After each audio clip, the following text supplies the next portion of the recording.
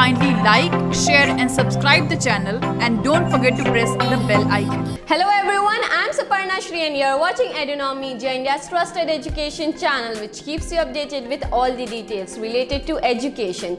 I have brought you to the most important news of medical. Dr. Pratap Reddy of Tamil Nadu Apollo Hospital has been honored with a postal stamp. Tamil Nadu is making all the buzz in the medical sector this year and this is a great news. Let's tune in into the news. Apollo Hospital Enterprise announced Tamil Nadu Governor Banwari Lal Purohit formally released a postal stamp on preventive healthcare at Raj Bhavan. The stamp honors and acknowledges the chairman of Apollo Hospital, Dr. Pratap C. Reddy's pioneer efforts in encouraging preventing healthcare in India. Chennai City, Postmaster General R. Anand, Vice Chairman Apollo Hospital Preetha Reddy, and Miss Sunita Reddy, Managing Director Apollo Hospital, attended the special occasion on Rajya Sabha. Over 35 years ago in 1983, Dr. Pratap C. Reddy had established Apollo Hospitals. India's first corporate hospital to make advanced medical care accessible to all in the nation.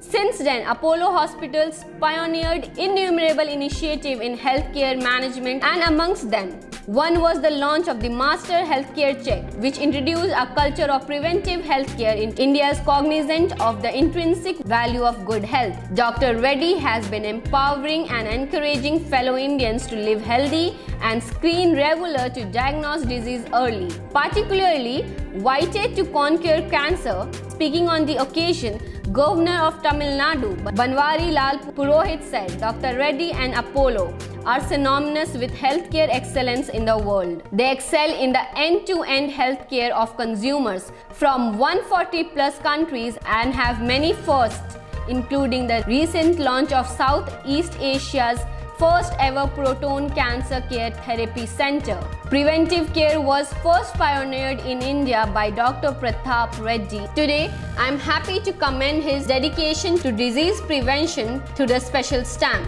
That's all for this news. Kindly keep watching us and don't forget to subscribe Edunom Media for more information related to education. Thank you. Join us again on the next episode. Till then, from the entire team of Edunom Media, have a great day.